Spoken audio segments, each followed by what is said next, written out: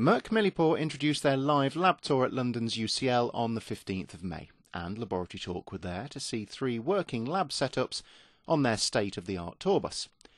Once inside, we could see three separate demonstration areas covering products for use in pharmaceutical, food and beverage, and academic laboratories. On view was the MilliQ Ultra Pure water purification system, offering Type 1 water in a compact package. And as part of their Integral system, we had a look at the pod point of delivery dispensers, which can be conveniently located anywhere in the lab. Next up was the Scepter handheld cell counter, which offers reliable and accurate cell counts in less than 30 seconds.